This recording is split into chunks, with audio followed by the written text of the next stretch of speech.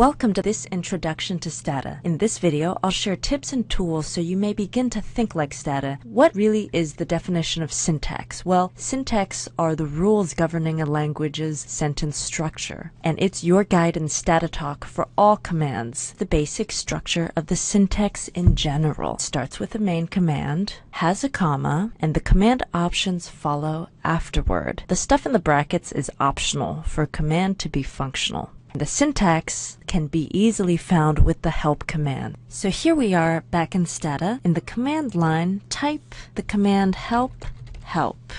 Hit enter. This represents that we want help to find the syntax to the command help, which we have over here. Here's the syntax.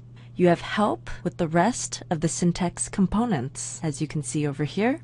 The command itself, help, is bolded and is the first word of the syntax usually. You can see that the H here is underlined, which is Stata's shorthand, meaning you can type in H to represent the command help. Afterward, in these brackets here, it says command or topic name. For us, we wanted to see the command syntax for help, so we typed help help.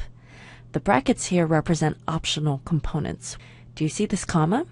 It's very important in Stata because it separates the main command over here from the options of the command, which fall after the comma. So let's close the window now and try to seek help for another command. Let's check the syntax for edit. So we can type H for help and edit. So here, under syntax, we see that edit is bolded as the main command should be, and the underlined letters are ED, which means that the shorthand for edit are two letters instead of one, it's E and D. Afterward, you can see that there are brackets, meaning that the rest of these components, because they're all in brackets, are optional. If you wanted to be more specific, you can type in edit with a variable list. var list just means a list of variables.